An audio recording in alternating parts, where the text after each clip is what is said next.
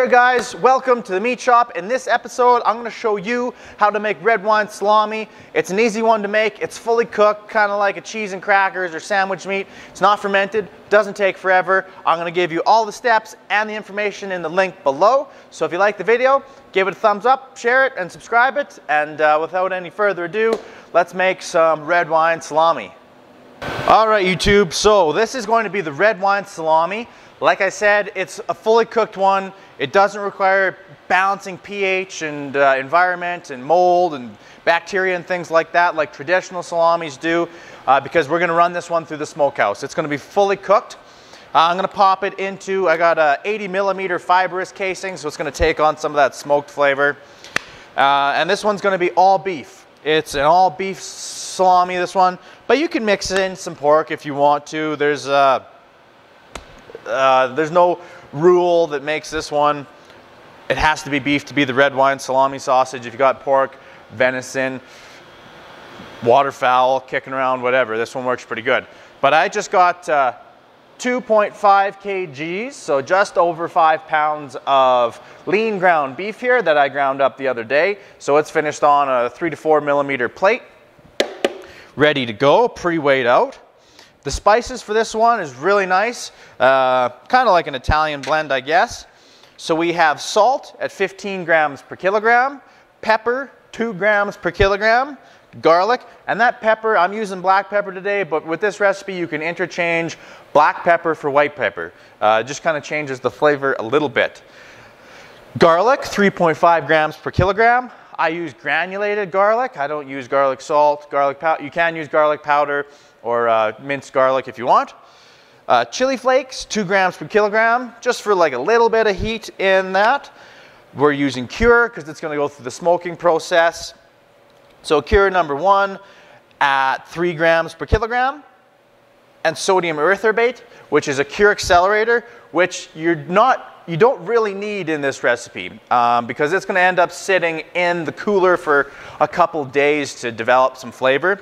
But sodium erythorbate is also a color stabilizer, so if you have an exposed face of meat facing the sun or an LED light, it's going to hold that nice bright pink red color longer. It also uh, lowers the number of carcinogens in fried meat, so I put it in.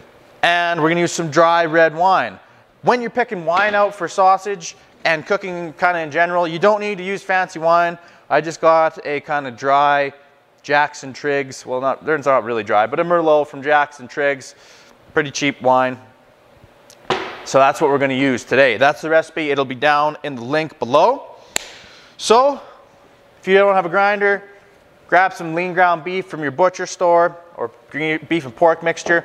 But uh, you want to shoot for 15% fat to 20% fat in this re uh, recipe because it's going to go through the smokehouse. Any less than 15, you can do less if you want to have a leaner, healthier sausage. It's just a little trickier. You might dry it out a little bit. And then once you kind of get above 25% sausage, you end up you know, with uh, a little bit of grease runoff. You have to watch it a little closer. So 15 to 20 is nice and juicy, and it's probably the easiest for you to run with right off the bat. So Here's, uh, I'll show you the spices we got mixed up here. Mm, look at those, a little bit of black pepper, granulated garlic, chili flakes in there. About to hit our meat. All right, drizzle that on there. Throw about half of it on. Toss it around a little bit. Toss the rest of it on there. And toss around. Now in this recipe, I don't have a binder. Um, Binder kind of helps with the protein extraction. It's basically binders adding another protein like soy or whey or deheated mustard.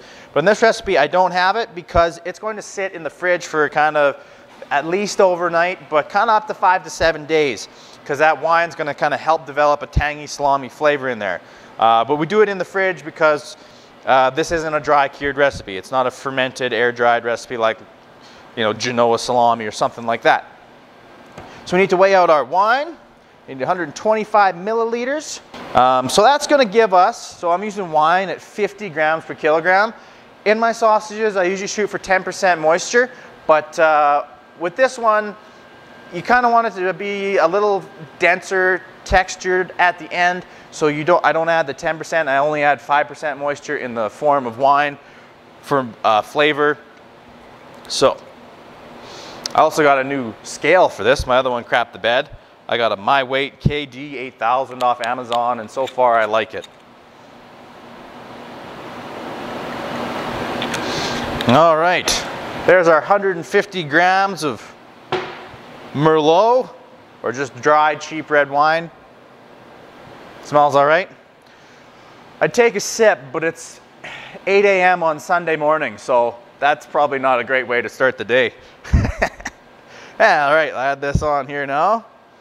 That's gonna help distribute the spices too as we mix around. It's gonna really change the aroma of the sausage.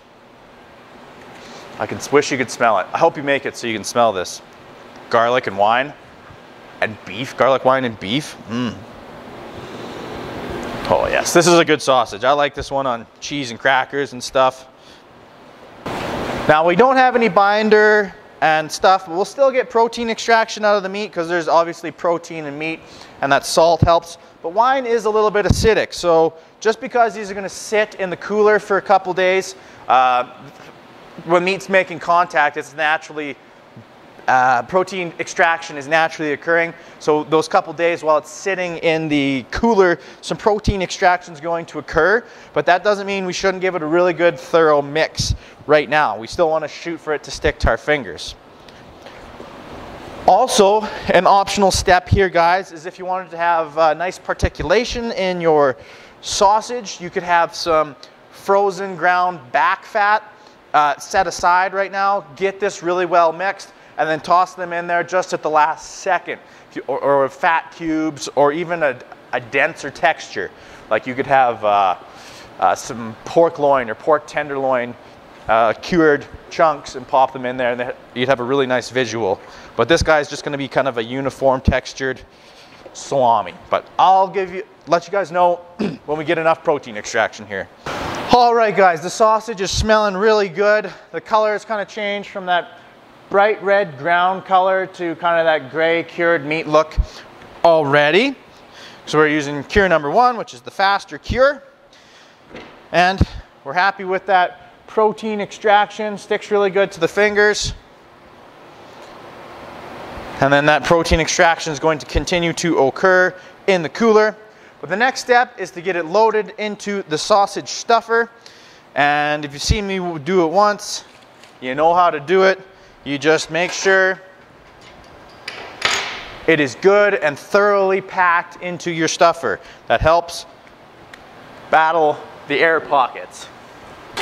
Handful, drop her down, beat it in. All right, now I'll bring you guys in for some stuffing. Before I do that though, I'll show you this little fibrous casing, kind of a cool one. So it's an 80 mil and I thought since we're doing salami, it's got this kind of pre-netted string design on there already, printed on. So I thought that was cool. We'll do that. And then with these guys, you don't have to soak them overnight or anything. I am just going to drop it into my uh, chafer pan full of water right now. And by the time I get this in there, it'll be ready to go. Okay guys, so I got our salami loaded in there. Got our Casing, it's only been soaking for two minutes or so. But basically, it's just a, you just want to wet up the inside so it's lubed to get on the, the horn, basically. And uh, you just pull it down at the bottom of the, the tied end. They will come pre-tied and an open end. And this guy's 80 millimeters, so this 2.5 kgs should fit into this whole thing, I think. Let that first little, and with this you just squeeze tight like you're choking a turkey. Right at the end of the horn, let a little bit of air sneak by your hands, and then squeeze nice and tight and get it good and full. Look at that cool casing. You can get all sorts of designs on casings now. I've seen some with stags and and all sorts of cool stuff. Bears. Oh, there we go. Even uh, we got more room than I thought. Now what I'll do guys, so I just finished uh, stuffing. I will lift the plunger up. Then I grab the next sized horn down and I just stick a plastic bag over it. pull the larger horn off and just get that last little bit out of the horn into our casing. Voila. And there's a little bit at the bottom here you can see. Pop that out of there.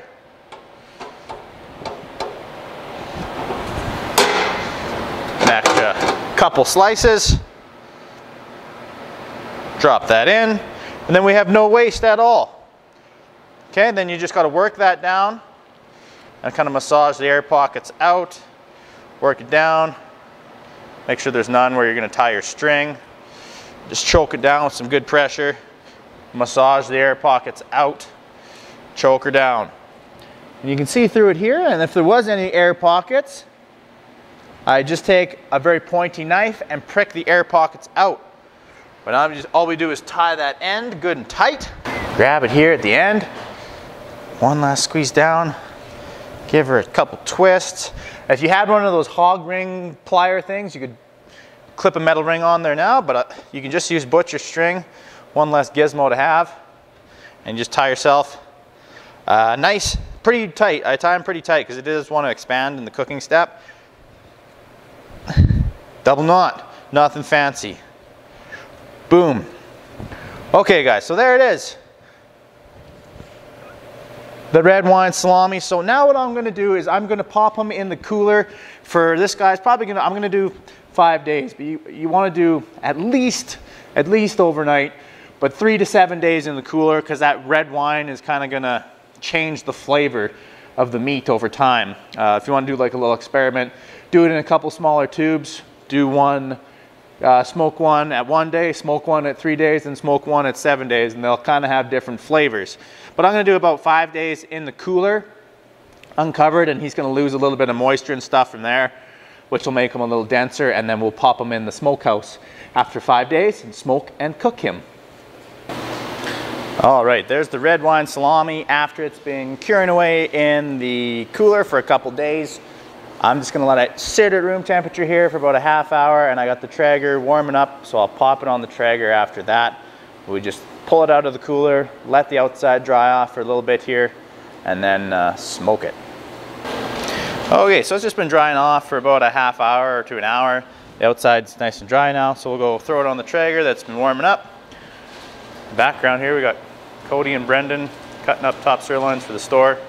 Okay, got the Traeger set up. It's warmed up already, guys, so it went through the warm-up cycle. This is smelling really good, by the way. smell that red wine on there, so we'll just pop it in here.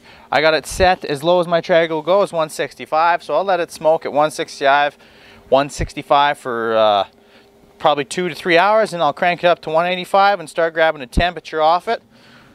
A little bit of smoke rolling there. I'm not sure if that comes through, but I'll just pop it up on this top rack right in the middle. It's ideal to hang them, but if this is what most of you guys got up there, this is this will be fine. Setting them on a rack is fine. I don't set them right down on this lower rack because I find my the heating pot or whatever is right below there and it'll wrinkle them. So up up in the middle of your smokers is the best spot for a big chub like this, and uh, we'll come check on them in about two hours. Should start to brighten up, become nice cherry red, and I'll crank it up for the cook. All right, so the smoke has been rolling on the red wine salami for about two hours now, kind of 165. My Traeger kind of dips down to as low as 150 and like as high as 170. Not a big deal. I'm just gonna bump that temperature up to 185 now. 185. And uh, hook this probe up. I don't really trust my Traeger probe. It's not very accurate, I find. So I just kind of use it as a guide and I'll come check it when it's roughly close to what I'm shooting for. And I'm shooting for an internal temperature of 160. And then I'll come check it with my other thermometer here uh, just to verify the right temperature. And when it's at that 160, we're gonna hit it, uh, we're gonna drop it into an ice bath. Okay, another suggestion I have for you guys when you're using a pellet grill uh, to keep your sausages more plump and juicy uh, helps avoid the wrinkles and stuff that I see every once in a while on the sausage pages is to put a pan of hot water in there. That's going to create a little bit of a humidity and steam cook them in the last step here. And uh, also my Traeger lid doesn't close very good, so I find that extra humidity helps your end product. So it's been a total of about six and a half hours here on this big 85 millimeter diameter casing. The Traeger smoker says 159. We'll just see how close it is. Still nice and plump looking. You can see it there, yeah. Pop my thermometer in. It's nice and firm feeling now. The water's been steaming away. Okay. So it, my thermometer says 158, so it's real close to the Traeger, and that's probably good enough. I know I said I was shooting for 160, but uh, 158 is close enough because it is a really large diameter sausage. It's going to take the middle of that core a little while to cool down. But in the meantime, we don't want the rest of the sausage to wrinkle. So I have an ice bath ready here. I just got some cotton gloves on to handle this. Little ice bath set up, ready to go beside my pellet smoker. Just drop her in slow that cooking process down immediately. Kill the Traeger. There we go. Just let them sit submerged in there for a couple minutes till the ice is gone. Pop them in the cooler overnight, and then we'll slice and taste them tomorrow morning. All right, guys, so our red wine beef salami has cooled overnight in the cooler. Next morning here, first thing before the guys show up, it's uh, still got that nice plump texture, no wrinkles. So that's what you get, uh, that's the result caused by the ice bath. So we'll just knock the end off there, knock the other end off here. This end's a little bit wrinkly, that's the end that had the probe in it, so it's gonna, a little bit of juice is gonna sneak out as you go there, but I'll cut into it and uh, nice and dense. Mm-hmm. You guys have a look. Oh, that red wine comes through good. So there we go, guys. Have a look at that. Nice, beautiful color, little bits of fat and beef. I got a little bit of an air pocket there, um, but that's okay. Little chili flakes and stuff. Time to dive into it. Cut ourselves off a little slice here. So it's fully cooked. It's sandwich meat. Good to go. Casing peels off nice and easy. Here we go. Mm-hmm.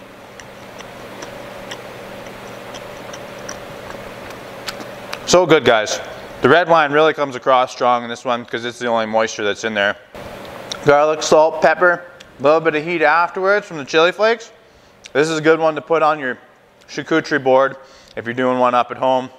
Good way to use beef, good way to use venison. I hope you guys give it a go. I hope you like it. If you did, give it a thumbs up and subscribe. Thanks for watching, guys. We're going to make more sausage videos in the future. Mm. Take care.